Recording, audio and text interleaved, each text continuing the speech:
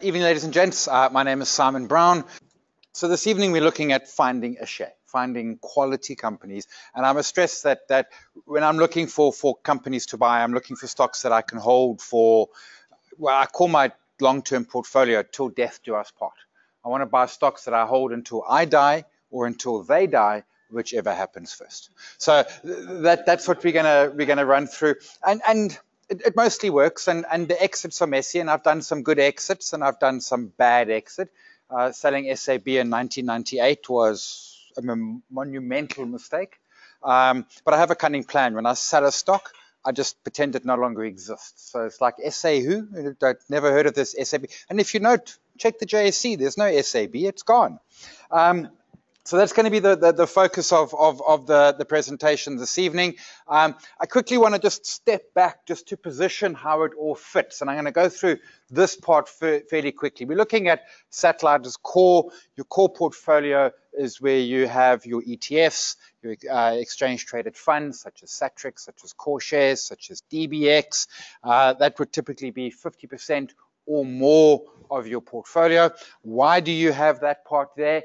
Because the biggest risk to your portfolio is not Donald Trump, Jacob Zuma, or anybody in between. The biggest risk to your portfolio is me and you. We do stupid things. And then we pretend we never did stupid things and we carry on holding that dog of a share until it's, and no disrespect, love dogs, but been there, done that. So we have that core of the exchange traded funds to protect ourselves from ourselves.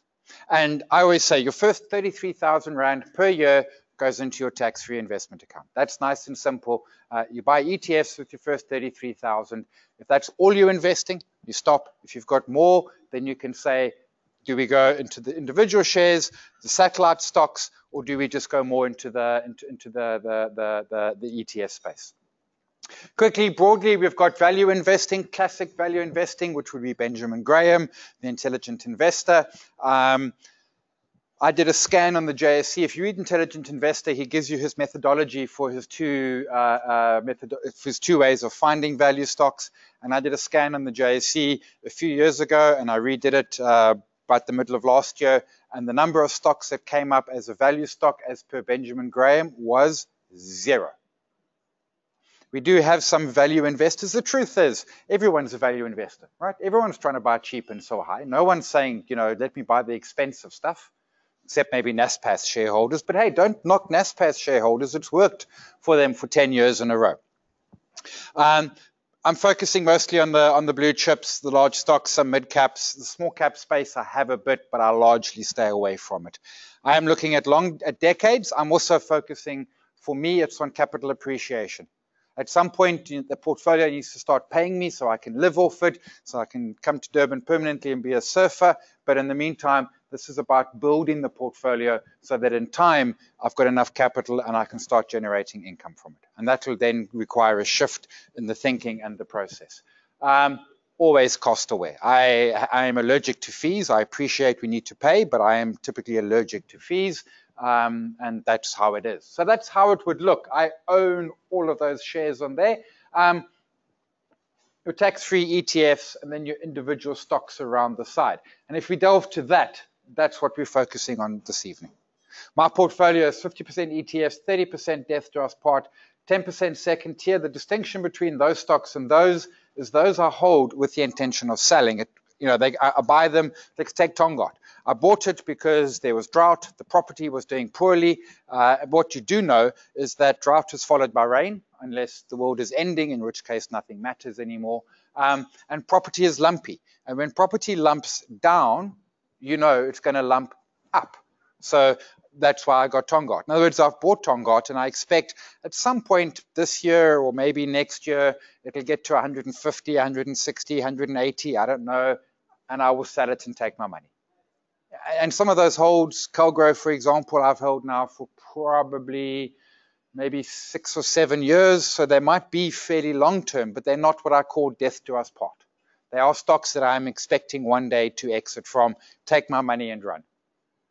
And it's a bit light there at the moment. There should be 10 stocks there. And then at the top, I do my trading, my lazy, my allsy, my momentum.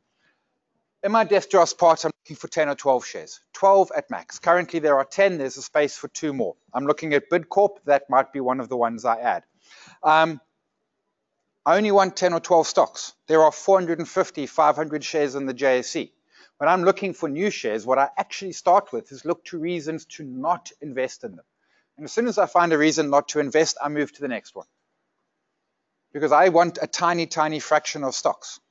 What you'll also note is that some of the stocks I'm holding there, um, in fact, all of them except for, well, not all of them, uh, famous brands, Metrofile, uh, City Lodge, and Capitec are already in my ETFs. So I'm duplicating. That's fine. You want to duplicate because what I'm saying is, you know, for example, Capitec, I mean, those those 10 shares there in my Destos pot, I think they're the best stocks in the JSE. I think they are the 10 head and shoulders best companies. What I then say is, well, cool, I've already got some of my ETF, but I want to add even further to it. I, in a sense, want to go what the lingo, what the, the, the fund managers will say, I want to go overweight. I want to add to those positions and do them bigger because I have conviction for them. I will build the positions over time. I'm constantly buying. Uh, I bought my first Sasols at 16 Rand a share. I bought my last Sasols at 414 Rand a share. Uh, my first ones I bought in 94. My 414 ones I bought in December. Um, I'm constantly adding to the positions. So we're going to focus on that part, the death jars part. Um, as I said, so you've got growth, you've got value, you've got income, you've got small and mid. I, I position myself as what I call a GARP present, uh, uh, investor, growth at reasonable price. Uh, if you read Phil Fisher, who talks about um, common stocks and uncommon profits, that's vaguely what he's looking at. I'm looking for stocks that give me, as a rule, great growth potential, but I'm looking for non-cyclical, and there's some bugs there. I'll come to those in a second, but I want them at a decent price.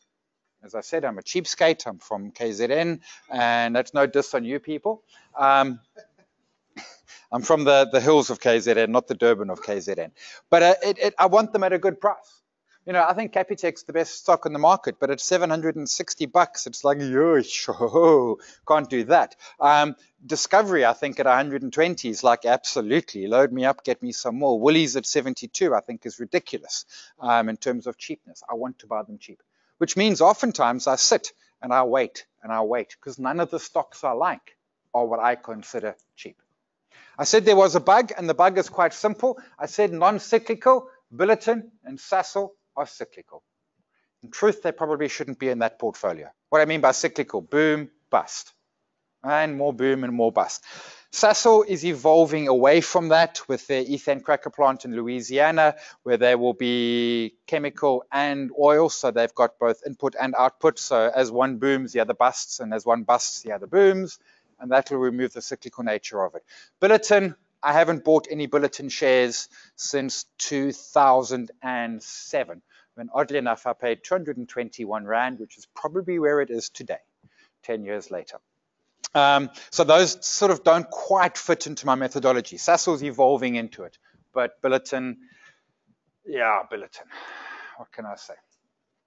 Um, the income, as I said, I will get to in time. The smaller mid cap is the space where we always rush to. In fact, it's the hardest place. What is a small and the mid cap stock? Frankly, it's a company waiting to go bust. No disrespect, but most companies go bust. Most small, when I say most, 90 plus percent of small companies don't make five or 10 years. So by buying small and mid cap companies, you're buying statistically a company that's waiting to go bust. The trick with it is it's very much understanding the story, it's very much knowing and trusting management, and then being able to get a fair read on the financials. But the financials on a small or mid cap are not classic financials. You know, they're probably losing money and spending fortunes, and, and it's hard to passe, which is partly why I've got very few stocks there. Uh, and Tongaat is really not a small cap. I'm going to add Sea Harvest if I can get allocation for Sea Harvest particularly if oil, so sea harvest will inverse of oil. The more oil goes down, the cheaper diesel gets, the cheaper their costs get, the better it is for sea harvest. Um, I almost want to, uh, the big debate I'm having with myself is in the smaller mid cap, shouldn't I hand it over to the experts? Shouldn't I give it to a fund damager to damage for me? But you see the problem. If they're going to have the fun damaging it, why don't I have the fun damaging it?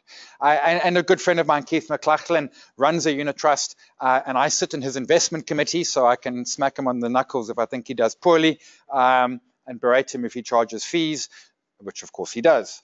That, but that's a separate debate in its entirety. So what am I looking for? Irreplaceable and impenetrable. And I stole that from Shelo Giosi of First Avenue Investment Managers, so I will credit him with it. As I said, I want the best of the best.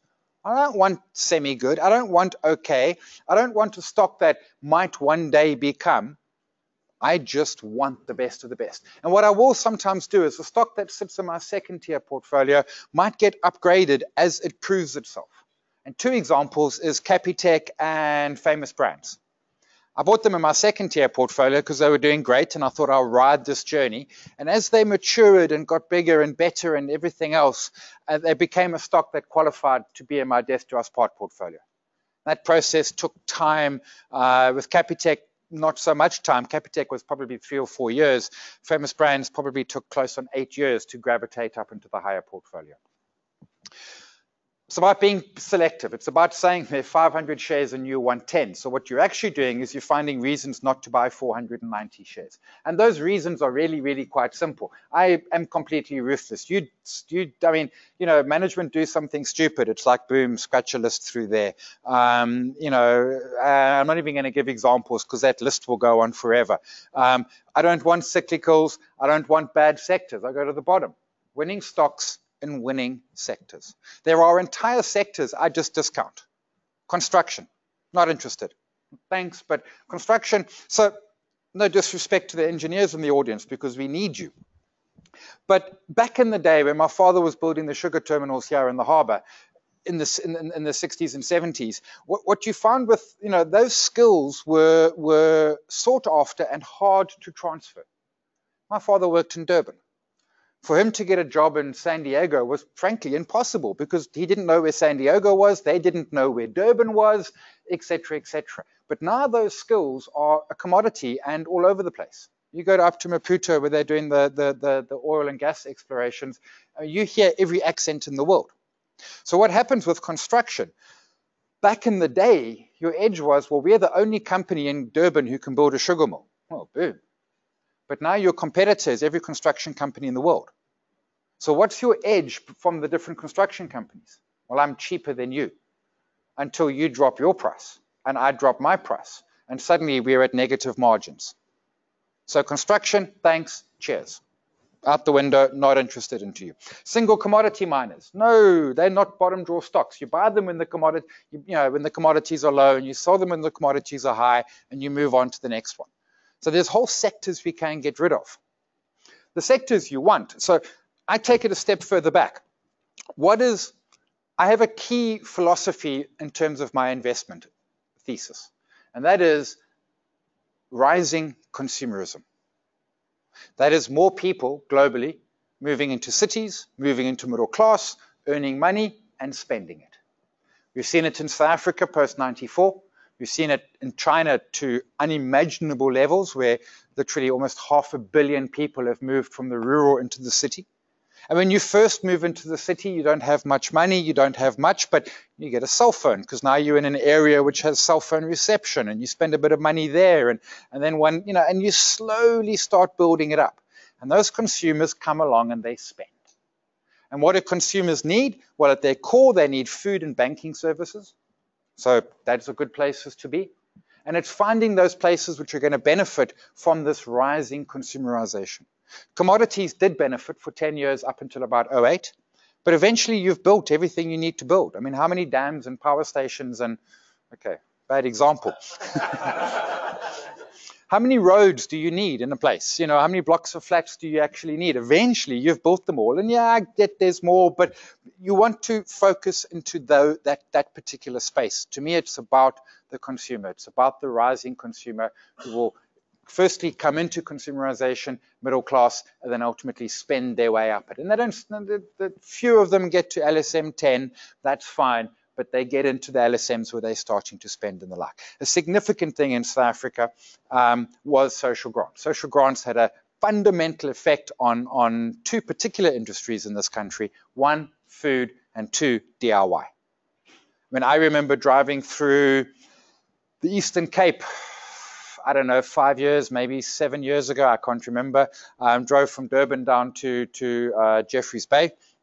And you drive through the Eastern Cape, and our national flower used to be a plastic bag on a, on a barbed wire fence. No more. Our national flower is a satellite dish and you are in the most ruralist part of the country, and there are satellite dishes galore. So you say DSTV, yeah. You say Ellies, definitely not. Winning stocks and winning sectors. Find those winning sectors, find the winning stocks. Two last points I want to make on that. Firstly, in your winning sector, maximum two shares. If you can't decide who the two best are, if you want to buy three, if you look at the at, at, the food retailers and you say I want to buy three food retailers, that means you're indecisive. You can go for two, but you can't go for three. Banks, pick two banks. Ideally, you want to pick one. The only real crossover I have where I have two is in food retail, and I have Woolies and Shoprite. That's a conscious decision, right? Because Shoprite is is is, is everything proof. Because as people get richer, they shop up to ShopRite, and some people go to Woolies, and some come in at the bottom. And then times get tough, and people shop down from Woolies and they go to ShopRite. I mean, they take their Woolies packet so that no one sees, but they, they shop down in a sense. So ShopRite is absolutely bulletproof in that sense, and I'll come to ShopRite in a lot more detail. Whereas Woolies, on the other hand, as we're currently seeing, well, when times get tough, Woolies suffers because you know what? They both go to the same place and they both buy half a cow um, and eventually we realized that Woolies charges a heck of a lot for their half, whereas ShopRite seems to charge a lot less, and it's all just cow. And I appreciate the stock farmers are saying, no, it's not. It's all just cow. Um, what is our natural inclination, though? What do we do is we hate buying the good stock because we want to get in before everyone else and we want to get in early and we want to buy the loser so that when it becomes the ah, Winners know how to win. That is so critically important. ShopRite has got 15 years of dominating food retail in this country. Pick n Pay stands no chance. Uh, Richard Brasher, who's the new CEO. Well, he's not new anymore. How long has he been here? Three years? So when he got here three years ago, uh, ShopRite's operating margin was 5.6 and Pick n Pay's operating margin was 1.8. Today, Pick n Pay's operating margin is 1.6. In other words, it's gone backwards, and ShopRite's at 5.6. ShopRite's where it was, and he's done nothing. No, not dissing, well, I suppose I'm dissing Brasher, but yeah, it, it, ShopRite has got the experience. They've done it. They know what they're doing. And, and as soon as Pick and Pay tries to come along, ShopRite just takes their operating margin and frankly beats them over the head with it. ShopRite is still picking up market share, still has one of the best operating margins for a food retailer on the planet. And I know a lot of that is helped by their Africa expansion. But hey, they went to Africa in 1992, went to the rest of Africa. I remember interviewing Whitey Basson when Walmart was taking a stake in Massmart. And I said to him, I can't call him Whitey, so I call him Mr. Basson. I said, so do you think we can learn some lessons from, from Walmart? And he laughed. I mean, he laughed for like two minutes, which when you're on wireless doesn't work. It doesn't make for good radio. he thought it was the funniest thing ever. And he said to me, Young man, I think we're going to teach them some lessons. Well, I mean, Whitey's gone and he won, hey, hands down. I mean, where's Walmart? And, and, and uh, I mean, no. And the rest of Africa, much like, so if you go back to the 90s, all the South African companies were investing into Australia and America. And pretty much they all came back with the tail between their legs. Discovery lost a billion, Pick and Pay lost a billion with, with Franklin's. I mean, they all came back and said, "Ooh, it's quite tough out there." And then suddenly we all got excited about Africa. And mostly they're failing, as a rule. The best was Woolies. And I love Woolies. But so they go to Nigeria and they open a store and they notice that it's winter. So they put jerseys. They miss a critical point. It's called an equator. It might be winter in Nigeria. All that means is that the days are 29 degrees instead of 39 degrees. Eight months later, they're like, yes, this Nigeria stuff is tough. So they left. Because the Nigerians were like, what is this? You are kidding me. Jersey's never seen it before. Hoy, man, no, man, this is, you know, because as far as they were concerned, it's winter. No, it's not winter. So they just get it, and it's about distribution. The reason Shoprite had a knockout year in Nigeria is because most of the of the food retailer shops in Nigeria, the shelves are empty, except Shoprite. Why? Because they've been there 25 years. They've worked it out. They can get the stock to the shelves. And that's what's critically important. Can Pick and Pay do that? Yeah, sure. Let's talk in 25 years. So we absolutely want the best. And we look at it and we say, why don't we buy choppies, chap, choppies, chappies, choppies, choppies? Why don't we buy, buy choppies? Because they might become Shoprite. Yeah, and I might become president of the US. okay, that's actually possible. Um, you know, I, it, it, it, yes, choppy. If if choppies becomes the next Shoprite, it's going to take them 20 years. Ah, let's say 10. You've got 10 years to buy it. Let's wait until we see some actual evidence that it's starting to happen. And the evidence is, you know, the, yeah, I mean, it, it's just, it's like, no, guys, you, what do we do? It's like we go to the race course. Uh, I'm in Durban, so my race course is Greyville. We go to Greyville on Saturday.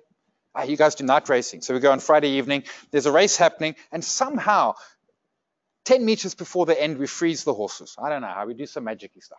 The horses are all frozen, and you can now place your bets. What do you do? You place your bet in like the horse that's first or second, maybe third. You don't go back to the starting stall.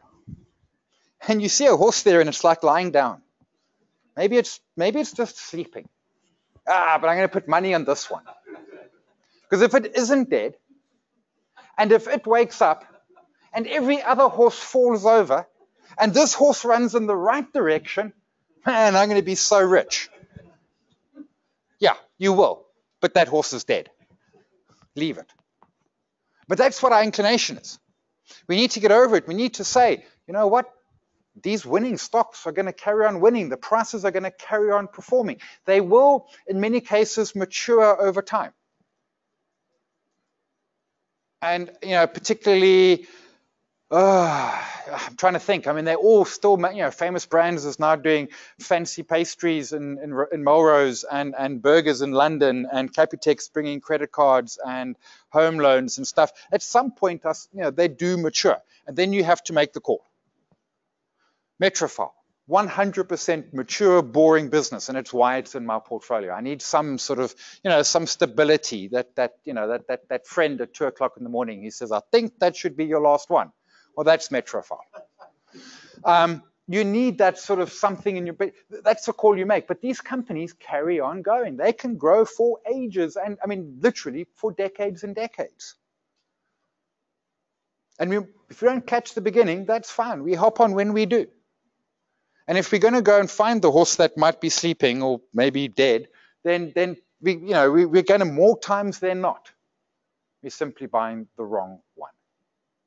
Buy the winners. Always buy the winners. So I buy them at the right price and then I hold them until they die or I die, whichever happens first. So far, I haven't died, so I've had a few companies that have died on me, and I'll come back to that in a moment. But then we need to do some fundamentals. So there's three parts to an investment. The first part is the story. The second part is the fundamentals. And the third part is the price. Now, the story is very difficult, highly subjective. I'll come to that in a second. The price is less subjective, but except, I mean, when I say less subjective, I put rules in place and then I play within those rules. But of course, I put the rules in place and my rules are subjective to my thinking. The fundamentals may be less so, although Warren Buffett famously said there are two things you can believe in a set of results, the page number and the dividend amount. Um, but there's broadly three things. So the first is PE, and that gives you an indication of value, and I'll park that because I come to that in a bit. The other two important parts of, the, of a set of results is the cash flow statement and the balance sheet. So we can become CAs and go and, and understand how these work, and we can pull them apart and put them back together. And if you are a CA or a budding CA, then this is something that you will do. I am neither CA nor budding CA, so I don't do that. but I need to look at these numbers. So I do it quite simple. So let's go to cash flow. For me, cash flow is simple. Look at the dividend. What is the single purpose a company exists? I know, to pay bonuses or make the world a better place. No, no, no. Company exists for one single reason, to make money for the shareholders. How is that money best reflected? By giving it to me. Don't tell me I did great. Give me a pile of cash. Then you did great. So you check the dividend. Don't tell me your results were brilliant, but the dividend's down 20%. Then your results weren't brilliant, they were horrendous. And I don't look, as always, at an absolute number. I'm looking at the trend. And my example is simple, and I go to African Bank. And I stress this is hindsight, but nonetheless. So for three years before African Bank hit their famous wall, profits were going up. Boom, boom, boom, boom, boom, boom, boom. Dividend went sideways. It's like, hang on, guys. You're making more money, but where is it? Now, in the case of famous brands who cut their dividend, where did it go? Well, it went to England to buy a gourmet Burger King kitchen, whatever, the burger people. And, and they tell us we're cutting dividend because we're taking on debt and we're going to, instead of paying you dividend, we're going to pay back the debt. And boom. So, okay, that's where my dividend went. Woolies dividend, yeah, modest. And they say, well, you know what, guys, look at our results. Times were tough, so dividend's not brilliant. But hey, it's still there. And what did African banks say? Nothing. They just said, hey, look at our profits. We're making a fortune. No one, it was a magic trick, you know. Look over here. Whereas over there is like, no dividend. So I want a dividend that's going up. Short answer, I want a dividend that rises faster than profits. Headline earnings up 10%. Brilliant. Dividend up 15. Now we're talking. You're making cash. Cash is king. So I don't have to go and check the cash flow statement, which I find the hardest part of a, of, a, of a set of results to understand. Instead of the cash flow statement, I go look at the dividend. I see what the history is. Is it moving higher? I appreciate that at times, uh, you know, MTN's a bad example, but excuse me, I appreciate at times that dividends are going to stall. In the case of famous brands, the dividend disappeared. As long as you're honest to me, and as long as you're upfront, and as long as I can see the reason, and as long as I understand the reason, and am happy with the reason, that's cool. So Woolies, what's the problem? Well, the problem is twofold. Rich people are shopping at Shoprite uh, with their Woolies packets.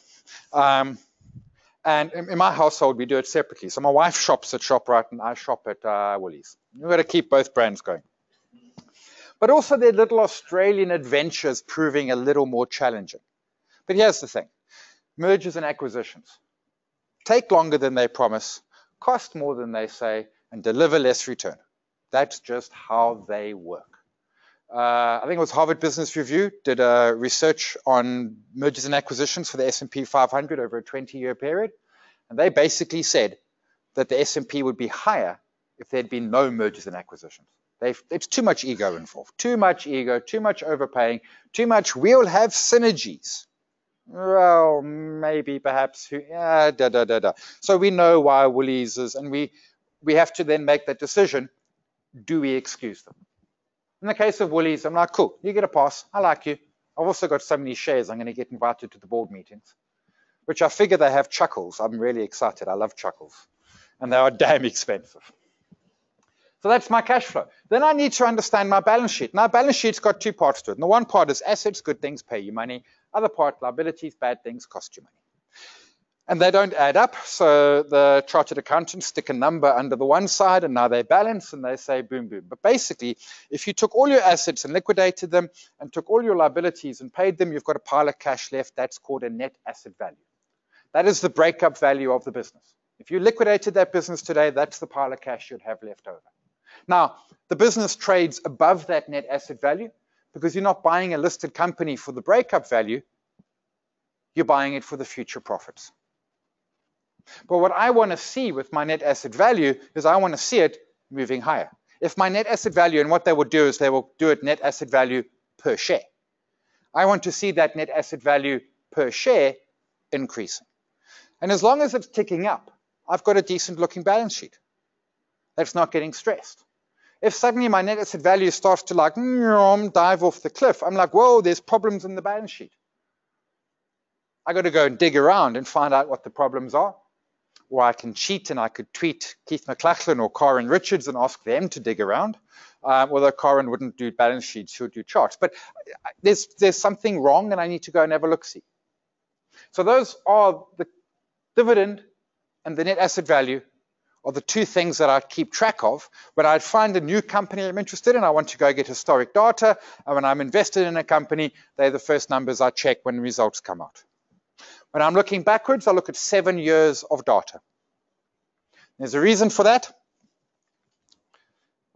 Adrian Saville, Cannon Asset Managers, uh, he crunched the numbers and they determined that the best period on the JSE is seven years. If you do less than seven years, you haven't got enough information. And if you do more than seven years, you don't get any increase in reliability of the information. So they say, in the JSE environment, look back over a seven year period and you've got a fairly decent indication of what the story is.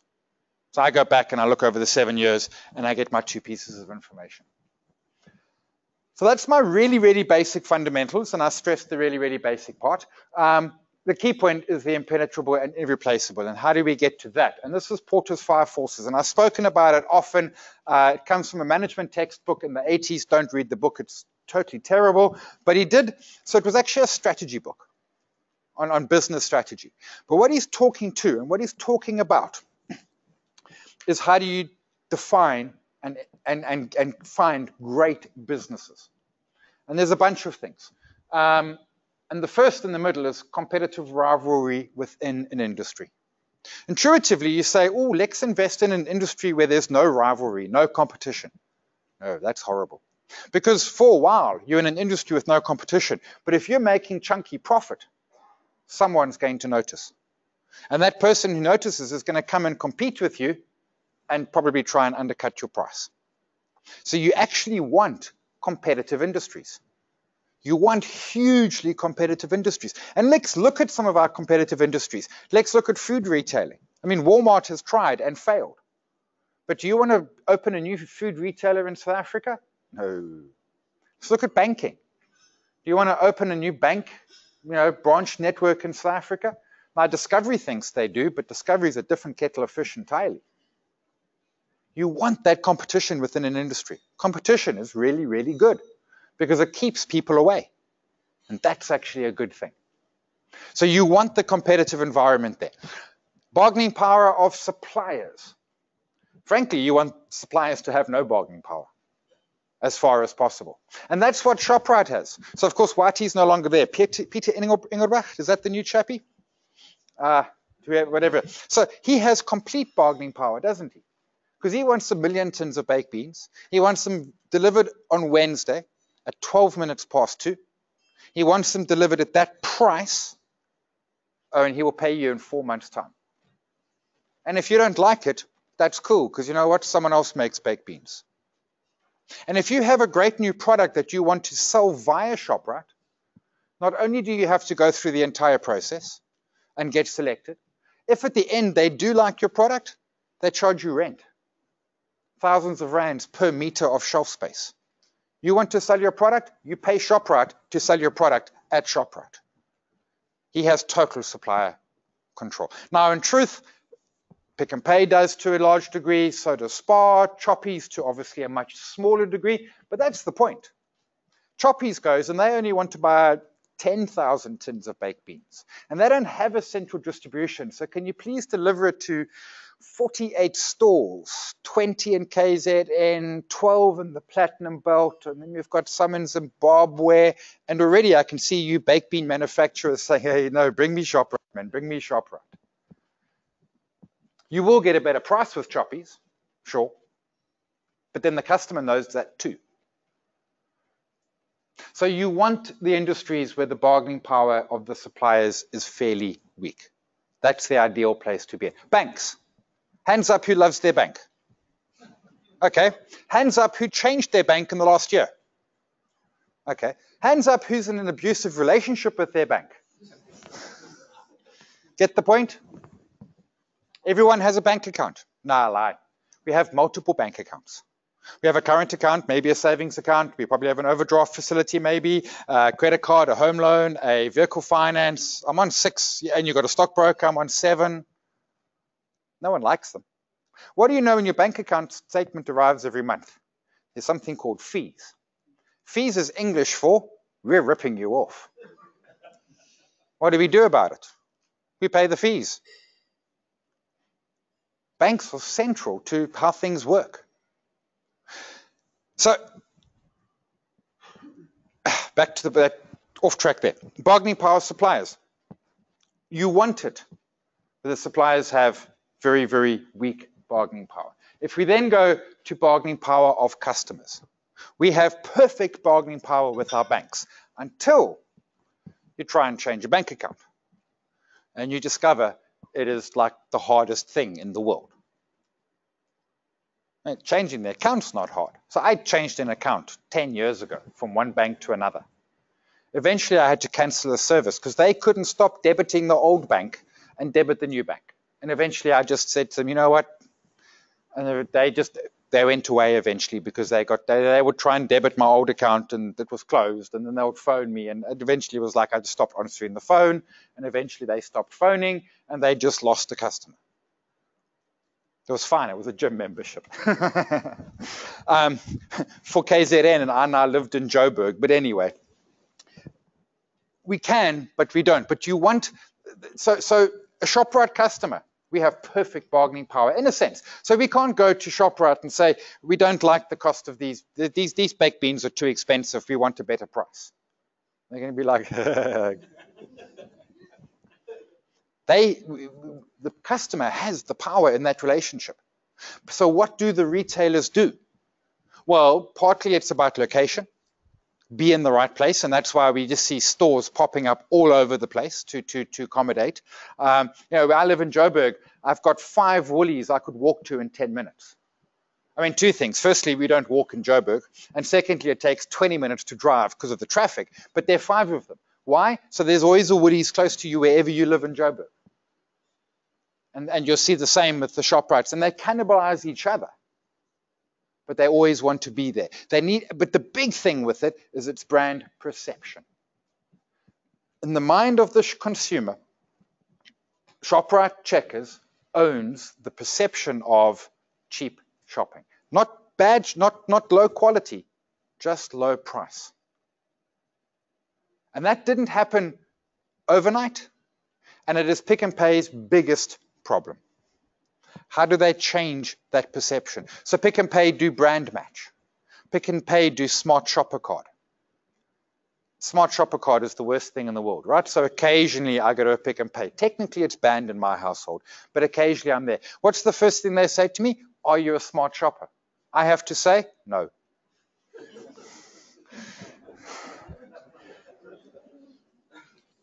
Brand match, smart shopper, Apparently, they have data on millions of people. Apparently, they've given billions of rands back. Nice, but I don't see it in their results. I don't see it in them getting market share. I don't see it in their operating margins improving. I don't see it in their sell through rates. I don't see it in their comp stores, like for like ex inflation sales. I'm not seeing it where it matters most. So yes, Smart Shopper is lacquer. Brand match, I'm not even sure I understand what brand match is. I'm sure it's lacquer too. But in the mind of the consumer, cheap, ShopRite. Not cheap and nasty, cheap and good, ShopRite and Checkers. And that is immensely hard. Woolies, in the mind of the consumer, quality. Now, the problem Woolies has is quality and expensive. And they're trying to change that expensive part. And when you pay 60 bucks for a packet of chuckles, it's never going to work. But they, but they do have the quality. And that works. So, quick story. And some of you would have heard the story before. My sister, all five feet two of her, scariest person in the world, buys a lamb's wool jersey from Woolies, and the label says hand wash only. She throws it in the washing machine, it comes out destroyed. So she takes it to Woolies, and, and I'm happened to be in Durban, and she says, Do you want to come? I'm like, Yeah, because Woolies are going to whip you. She takes it to Woolies, and she says to the lady behind the counter, I bought this jersey. It said hand wash only. I washed it in the washing machine. Look what happened. It's destroyed.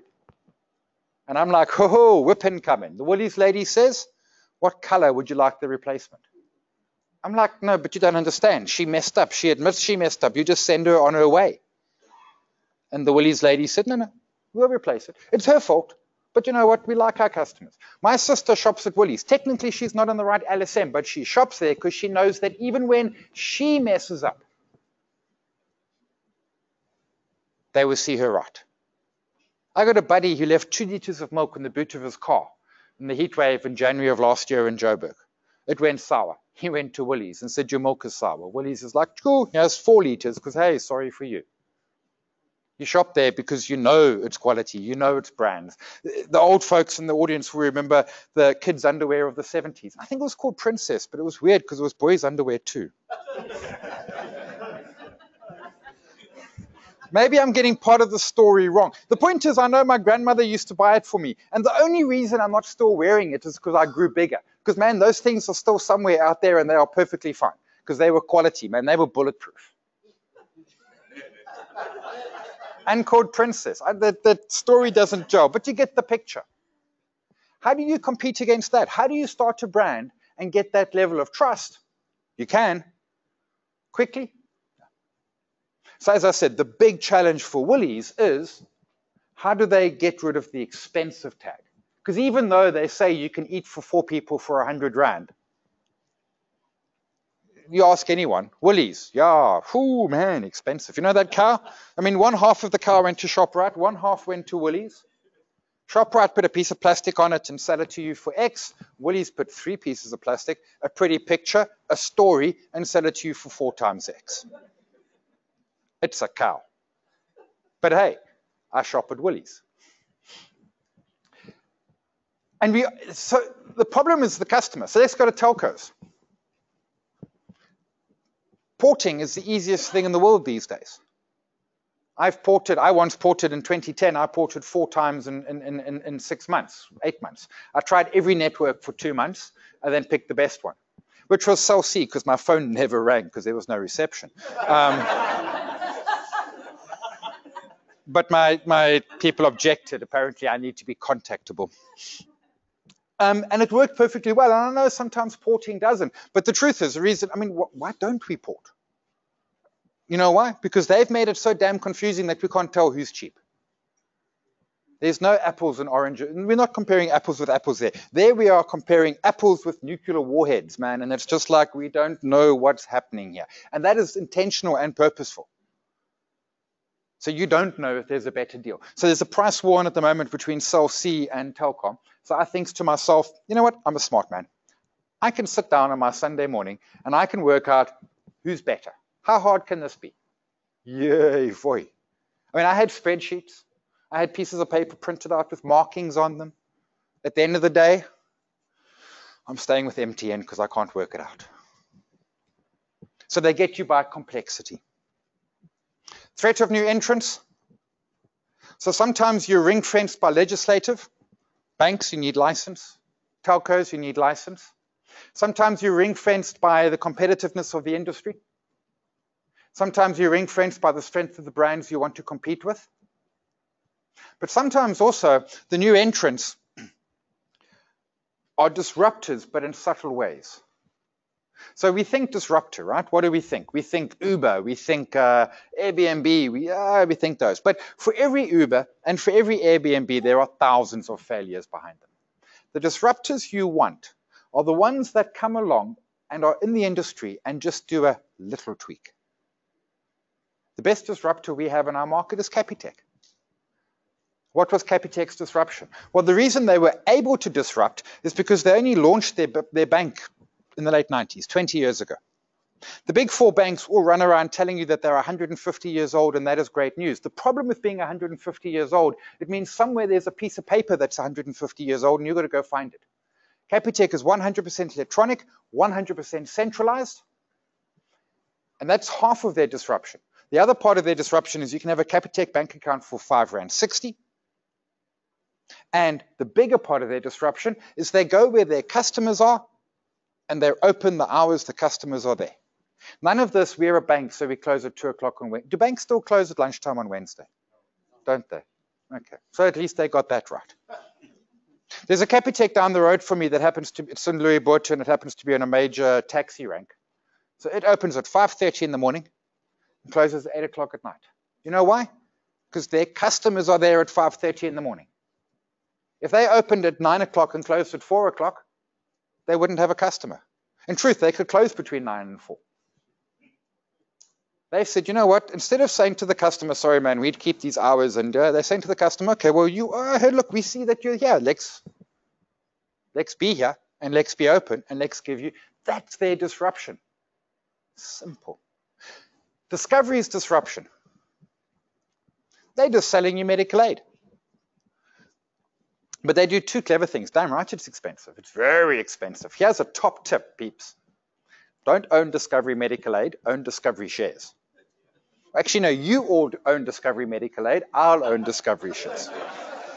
So what do they do? The first trick is typically as an insurer, what do you do? So you take all white men aged between 35 and 55 and you say, you folks are all the same. No, we're not. I smoke and drink more than probably all of them put together. I should be a different, but now Discovery can do a couple of things. Firstly, it nudges you. It says, you know what, if you go to gym, you'll discount the gym and we'll give you a smoothie. I'm like, yeah, look, I don't like smoothies and I wasn't going to gym anyway, so it doesn't count. But if you run around the block, you'll get a this and we'll discount your Apple Watch. What I want an Apple Watch for? I've got a, uh, but it's working. Vitality is working. What Vitality does is it means that Discovery clients are typically healthier. And as an insurer, manna from heaven. Oh, but now they're getting way smarter. Vitality was the first part of the equation. Now they've got a watch on your arm that they can track. Pretty, they, if they insure your car, they've got a little monetary thing in your motor car. They're going to give you a credit card. See, here's Friday evening, right? You finish work.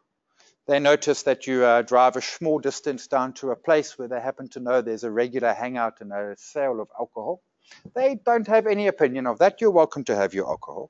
They notice your credit card getting hit with increasing frequency and cost at the place where you're drinking your alcohol. They see the two o'clock withdrawal outside the famous brands later that evening, and they watch your car stagger its way into an accident, and they reject the claim. They're like, don't be stupid. We know who you were, where you were. All we don't know is what music you were listening to. That's their disruption. Their disruption, instead of seeing, as insurers have typically done, is white man, 35 to 50, boom, we know who you are. They now say, Simon, we see you. And I'm like, no, you don't. I'm not in your books, guys. I go somewhere where it's cheap. But that's what they're doing. They're going down to the individuals and they are nudging you to be better. Because when you drive badly and you suddenly brake, they send you an SMS and they say, oh, we saw you suddenly braked. Are you in an accident? It sounds caring, hey? You know what they just did? No, you know what they just did? They just said, We're watching. You didn't realize how close we are, but we're watching. And suddenly, my buddy who used to drive like a maniac, man, he drives like a 92 year old granny. I said, dude, you realize the speed limit's 100? You can go faster. No, no, no, no, no. Discovery's out there. I don't know where they are. So they've got a 26 year old crazy man in Cape Town driving down the freeway below the speed limit because he knows that Discovery is watching. That is disruption. That is what you want in terms of disruption. Substitute products is real. Substitute products will catch you blindsided every single time. Substitute products is a terrible thing because it just comes at you, boom, and you never saw it coming. But you got so the best example is there was a company called Hour. They used to make answering machines. You young kids have no idea what I'm talking about. It was a giant thing. It had a tape in it. You young kids don't know what a tape is, and a blinking light. And it would physically, you would record a message onto it. People would phone, and they would record their message onto your tape, and you would come home and see a blinking light and push play. And in the 1980s, they were doing a billion dollars a year selling answering machines, and they are gone. Why? Because, well, Firstly, because every, I mean, we just have everything has answering machines, but they exist in the cloud. But there's a bigger disruption that happened. You notice what cell phones did? Cell phones killed talking on telephones. It's the weirdest thing. But we no longer talk on our telephones. That's like so like 2005. We WhatsApp. We message. So cell phones used to make, telcos used to make a fortune off SMS and in truth, voice. We don't call and we don't SMS because we've got data. We WhatsApp. I WhatsApp my sister. She goes to Bangladesh. I phone her via WhatsApp. She's in a hotel room on free Wi Fi. I'm at home on free Wi Fi. Boom, free phone call to Bangladesh. A phone call that just 10 years ago would have cost 10, 15, 20 Rand a minute. Foop, it's free. So disruption comes and we will see it too late. That's fine. If you're on the disruptor, that's brilliant. But if you're getting side curved, we're never going to get it perfectly timed. We need to, there's one that isn't there, which is legislative risk. Legislative risk, Aspen published their results this morning, and the line which I've been waiting a decade to see, I love you, Aspen, because finally it is there. Legislative price decreases. In English, governments start making us stop, rip you off. We know drug, drug, not even drug companies. The medical industry is you know, massively expensive, increases ahead of inflation since, uh, since, since they invented drug companies. And finally, governments are saying, hey guys, so Life Healthcare bought a business in Poland, paid however many hundreds of millions for it. And just after they bought it, the Polish government said, you know that price that you're charging? You can't. You're going to charge a price that is approximately 75% lower. You know what? You're still going to make a profit. You're just not going to gouge a profit. That is the future of medicine and uh, not hotels, um, hospitals, drug companies. That is their future. We've seen it locally already, single exit pricing. We see Donald Trump talking about it. You don't find a politician who says, yeah, these drug companies charge a great fair price. Two or one, they say, hey, there's, do you want to be owning a company that is having the governments around the world beat you over the head to make less obscene profits? No. So legislative risk is real. We need to run our companies through this. And I end up with something that looks vaguely like that. So here's Capitec. There's my run. Substitute products, cryptocurrency, Bitcoin, maybe something like that.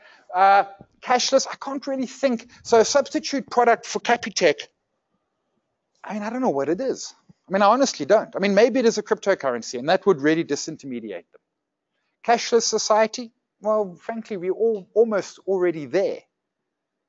Know, uh, we don't, you know, we don't need cash. We've got plastic. Plastic works just as well. In fact, plastic has almost been disintermediated. We've got apps on our phone. Someone paid me the other day. Literally, it's just like zip, zip, zip. We've got money in your account. I'm like, you don't know who I am. Oh no, uh, geo proximity thingy majiggy. I don't know. And I went to an ATM and I had a hundred rand. It was bizarre. It was quite nice. It was 100 Rand. But so I don't know what their substitute potential threat is, but that's the point. Oftentimes we don't. New entrants, sure. Could we have a new entrant into the low cost, into the, into the banking space? Well, we've got Discovery coming. Um, we absolutely could. It's not easy. It's taking Discovery years and years and years to go through the process, and it's going to cost them a billion rand or whatever it's going to be. There is certainly that possibility, but that it's going to have to be a new entrant. One of the legacy banks is not it. So you've got to keep an eye out. I suspect, however, that Discovery probably goes over after a slightly different market to Capitec. And the discovery client is not driving down Louis Botha at 5.30 in the morning. Customer power? Absolutely. We have it. we don't use it. But in truth, customer power plays into Capitec's hands. Because if you're leaving your bank, I mean, why are you leaving Capitec? Because you like fees? No. Supplier power? Uh, they don't really have suppliers. Uh, they're banking. I mean, yes, IT and stuff, but not, not Competitive industry? You betcha. And legislative risks? Yeah, sure. Uh, Basel III coming through, which increases uh, uh, amounts they've got to hold on their balance sheet. Um, National Credit Act, uh, Consumer Protection Act, all of these sort of things have hindered Capitec. In truth, they've made Capitec a better bank, maybe a less profitable one, better, better bank in many senses. So what I ultimately want is I want the three reasons why I love the stock. Capitec is simple. Cost to company. So Capitec have a, sorry, uh, cost to consumer. Let me go to cost, cost to income. Cost to income ratio, for every rand they receive, what percentage goes to costs? Capitec, 35. Big banks, 55. Boom, they just make 20 cents more per rand. The Capitec number will increase. The big bank number, they all tell you it'll come down. It hasn't in 10 years, so I'm not sure when it's coming down, but don't hold your breath, you will turn blue. So these are the three things I look for. When they start to change, and then on my other side here is bad debts. I, big banks is there. So I drew this list up in 2007. And it's remained, at the time, I kept on thinking the big banks are going to come for Capitec. Surely they're going to come for Capitec. They haven't. I mean, I know, yes, they do. They try, and they still say, yeah, no, look, we don't open on Sundays, and on Saturdays we close at 11. We do work Wednesday afternoons now, but only until 4, and we're not going anywhere going to put a branch in a taxi rank. Come on. So the big banks hasn't come. Bad debts is the worry. But Capitec manage their bad debts infinitely better than African Bank. Why are those important? Because I need my trigger to know when to sell. When those start to weak, so when those start to rise their horrible heads, or when those good things start to go down, it's time to bail. Shoprite. Substitute products? No, we need to eat. We could buy somewhere else. That is a real threat. Pick n Pay could start to get it right one day, and Shoprite could start to get it wrong. That's not impossible. We look for that in things such as operating margin and market share. New entrants, sure, but hard. I mean, Choppies is, is, is really, really struggling. Uh, Walmart is absolutely nowhere. Brasher, uh, he spins a great story, but I'm not seeing it in the numbers. Customer power, yeah, we have total power where to shop, but they have brand and they have location and they have perception. Uh, supplier power, zero. Competitive industry, absolutely love it. Legislative risks, none really. So ShopRite, margins, Africa, low cost, low LSM. Threat, uh, competition one day, perhaps. They start to lose their plot. Not impossible. So that's my process. I start with the story and I have I, I, I, use pieces of paper, and it takes it take me weeks, if not months. I'm busy going through it with Bidcorp, and I do that story. I run through that Porter's five forces. I look at what's good, what's bad, what's ugly. I start to build that story. I build my lists up, and then I come down to the three key reasons I love this stock. And those three key reasons, more than anything, are actually my exit signal. Quickly go back to SAB Miller. The reason I loved SAB Miller was not because I liked their beer or anything, but because you could buy an SAB Miller anywhere in this country. Have you ever walked into a liquor establishment and said Castle and they've said, sorry, no stock? Never happened, never going to happen. I bought SAB, one of the biggest reasons was their distribution network. And then they started going global. And I'm like, whoa, hang on, guys. You deliver beer in South Africa. I've never seen you deliver a beer in America. I don't know if you can do it. So I bailed. I was wrong. But uh, you're right, you're wrong sometimes. The point being is know what they are, know why you bought it, know what to test them against. And then, again, of course, regularly cash, net asset value. And then comes price to pay. So there are two schools of thought in price to pay. The first school of thought says, buy it. Price be damned. Yeah, that's fine if you get it right. It's scary if you get it wrong. I like to pretend I can get some value going. So I want to do a chart. I'd get seven years of data and I chart the PE ratio, price earnings. I get a chart that looks like that. There's my chart for Woolies updated on Tuesday. So that is seven years. You'll note all I do is I actually just get the PE every six months as results come out. So I get 14 pieces of data rather than 1,400 pieces of data. Um, my average is the red line, and I want to buy when the forward PE is below the red line. Here's the math. So there's Woolies. This is screenshot for close on Monday. I'm prepared to buy Woolies up to 91.95. I'm going to come back to that in a moment. Let's park that for a second. How did I get to 91.95? Average PE, which is that red line, divided by forward PE, which I get from my stockbroker, multiplied by current price. Woolies, average 18.9, forward 14.8, share price 72.01, boom, boom, boom, 91 Rand 95. Now, a year ago, that number was 85 Rand. So I spent all of last year buying Woolies below 85 Rand. I bought 84, I bought 82, I bought 77, I bought 74, I bought 69, and finally in December, I bought some at 62. That's why I'm getting a board seat, man. I've been buying Woolies. So the important point is what I'm saying is I want to buy below 91.95. There are a couple of critically important things. I'm not saying it can't go lower. It has. I'm just saying that to me is the value I want to pay.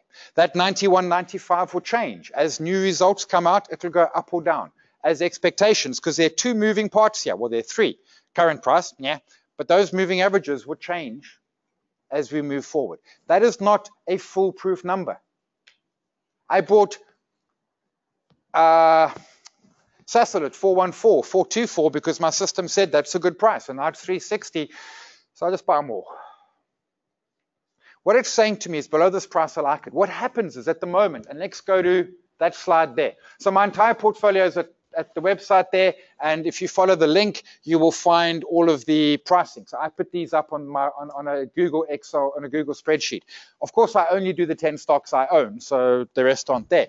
But you'll note that a lot of them are actually currently in the price zone where I'm happy to buy them. Two years ago, I was buying practically nothing except Capitec. Because Capitec was 200 bucks, my system was saying that's a good price. But then everything, but, so the market goes, when the market's booming and going higher, I'm just collecting cash. And then what happens, market goes down, or the stocks go down, now they come into my buy zone. Now I'm interested. And I buy what's currently available. Right now, I'm no longer buying Woolies. Why? Because frankly, I have too much. I'm also no longer buying Sasol because I have too much. So I'm buying Discovery. I'm buying City Lodge. I'm buying, actually, I need to update my Metrofile. My Metrofile is not updated. Um, I'm buying some ShopRites, uh, and I'm buying some famous brands because they are low weightings in my portfolio and they are in my buy zones. I don't buy aggressively. I buy a bit and I come back in a few days or a week and I check and I buy some more, and it's a process to build it. The calcs are there. And if you go to my page, you'll find a link to, there's a 40 minute video on the valuation. I went over it quickly to get the pricing. Um, but because there's an entire video there so you can go delve into it. And I don't need to check my time because I'm hitting time. I want to end with two key points. Almost everything I say this evening is subjective. Almost everything I said this evening, someone could make a compelling argument to make me look like a fool. That is investing. Of course it is. If it wasn't subjective, if investing was 100% objective and we could quantifiably say this is the answer, none of us would be here because there would be no market. That disagreement is what makes the market, is what makes the opportunity. It also makes it as scary as heck. We've got to have that courage of our conviction. And part of that courage of the conviction is that if you disagree with me, that's fine. If you disagree on something, you know, on, on a theory, if you disagree on a price or something, that's absolutely perfect. The key point is to have a process. To have a process. And to have a process that results in you buying the best companies in the best sectors. That's my process. Yours, you can take it and use it exactly. You can completely do something different. But you need a process that gets you to own the best stocks and the best sectors. That's all investing is. Buy them at prices that are nice, come back in 10, 20, 40 years' time. Always know why you bought it, because then you know when to sell. And to say that Jean-Pierre Verster said it's a good stock is not a reason to buy it. No, because with no disrespect to Jean-Pierre Verster, he doesn't come back in six months and tell you it's a bad stock. Know why you bought it. Ladies and gents, I've hit my time, so I'm going to park it there. If there are questions, chat to me afterwards. Thank you very, very much for your time this evening.